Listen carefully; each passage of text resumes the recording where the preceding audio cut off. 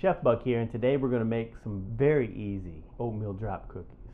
Because that's what we all need right now, is cookies. We're all losing a lot of weight, so we need to figure out a simple way to pack on the pounds and fill out our britches. And cookies, I mean, that's a universal answer. Come over here, camera girl, and see what we got. Just super simple assortment of ingredients. Little all-purpose flour, rolled oats. I got some uh, baking powder, baking soda, salt, and cinnamon. Just give your dry ingredients a quick mix. Boom, boom. So now we'll set that aside and then we'll throw our wet ingredients together. One egg, a little bloop bloop of vanilla. Then we'll give our egg a little whiskey whisk. Then we're gonna throw in our sugar, boom, boom, and then a little bit of butter, or a lot of butter. And this is softened butter, see? That's how soft that is. Then we'll just get all this cream together. And you can use a mixture if you want, but it's no necesito if you got one of these. Heavy duty power right here. I got all the power I need for making cookies. Now, if you want me to cut the yard, I don't know if I got enough power for that.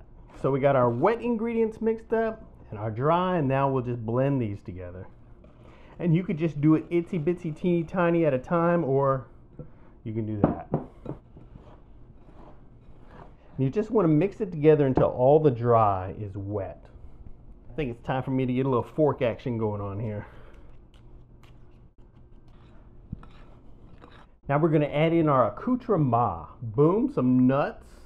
Just using walnuts. You could use whatever kind of nuts you like. And then you could throw in some raisins if you want, but we made batch the other day with a lot of raisins. So I'm to go raisin free and do some chips instead. These are butterscotch chips. And as much as you like. That seemed like too much? Camera girl got a panicked look on her face. I don't know, could you have too many butterscotch chips? I don't think so.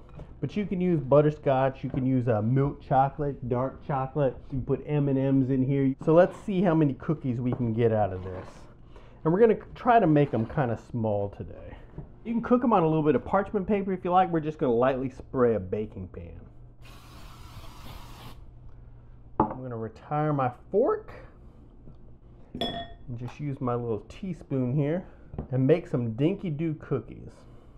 We're gonna make them bite size so that maybe they'll last a little longer. And you can make them whatever size you like, but you want them to be uniform so that they'll bake evenly. Now I tried to make some Dinky do ones the other day, but they came out a little big, but I'm really gonna try this time.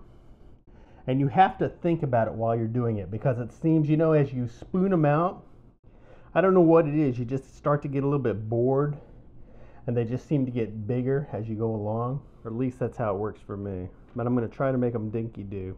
You really got to concentrate to make small ones. I remember reading Zen and the Art of Motorcycle Maintenance years ago. I think somebody needs to write Zen and the Art of Cookie Making. I think I could relate to that a little better. And you want to space them out, you know, give them about a half inch at least uh, between your cookies. Now, these are pretty thick, and they should keep their shape fairly well. They're not going to spread out too much in the oven, but you definitely want to have a little room between them. Okay, and that's going to fill my pan up right there. Go through and mash the ones together that need mashing. So our pan's full and we'll slide it in the oven. We got it preheated at 350 degrees.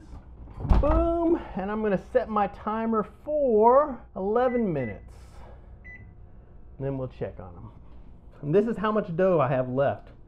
So I'm going to go ahead and spray me another pan and uh, get that ready to bake. Uh, but this recipe here, I'll have uh, written down below and over at myfoodchannel.com. And I'll also have a doubled up recipe over there. So you can make twice as many if you need to. And you probably do. Beep, beep, beep, beep. 11 minutes. That sounds like an Addams Family oven. Get over here and see how they're looking. Now these cookies don't color up a whole lot. But let's take a look at the bottom here. Let's see. Oop, not really that much color. I think they can go for a few more minutes. So I'm going to slide it back in the oven and let it bake away for another couple of minutes. You know, you can adjust the cooking time depending on the size of your cookie. and your oven and your altitude. Some ovens are stronger. If you're a pilot, you can adjust uh, the time according to the altitude. beep, beep, beep, beep. So that should do it. Alrighty. We got a little bit more color right there. So I'll let these cool down for a second before we put them on a baking pan. But I'm going to throw my uh, remainder of cookies. And you can see there's a couple of empty spaces here now. So I think we have a raw cookie thief in the house. Now sometimes these cookies can be crumbly when you get them right out of the oven. So you might want to give them a moment before you transfer them over to a wire rack. But these actually look like they're in pretty good shape. Look how many chips I got in some of these. You can really adjust the, uh, the amount of chips that you put in these cookies and nuts. Definitely give this easy cookie recipe a try. You know, go over to myfoodchannel.com. You can print the recipe there, check out all our recipes. Uh, thanks for watching. I hope you're doing super duper, and we'll see you in the future. Bye bye.